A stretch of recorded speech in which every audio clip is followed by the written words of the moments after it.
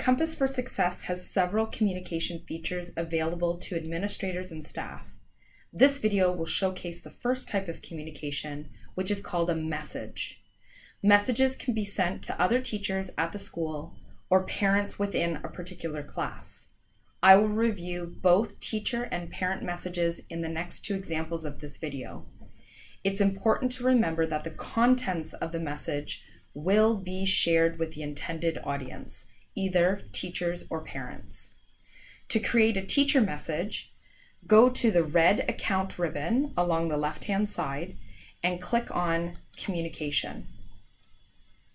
On the right-hand side, select the Teachers tab and then the green select button to add one or multiple teachers to the message. Add a subject and a message and click send. You will receive a notification that the message was sent successfully. To create a parent message, similarly go to the red account ribbon, click on communication, but now toggle over to the parents tab on the right hand side. The default message type to parents is an email, and this message will only be sent to parents with children in the same class. From the parent's perspective, this message will be sent as a blind copied email message from your Outlook account. If parents respond to this type of message, it will be sent to your email account. If you are using the Compass Parent Portal tool, you can also send a message to their parent portal account, which is similar to the messaging functions in Facebook and Twitter.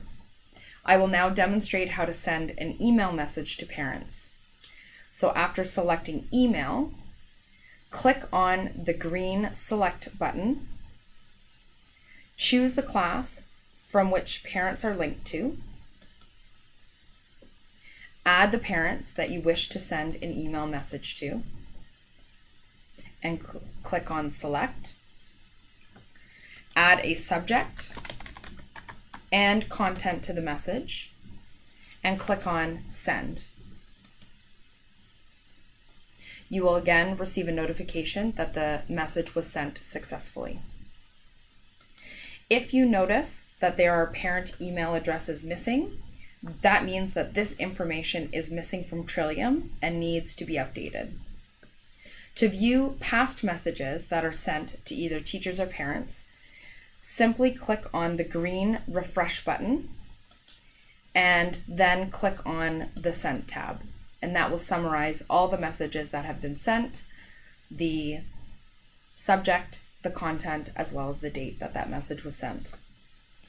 If you receive a message from either staff or parents, you will see a gray bubble containing the number of unread messages sent to your teacher portal account beside that communication word.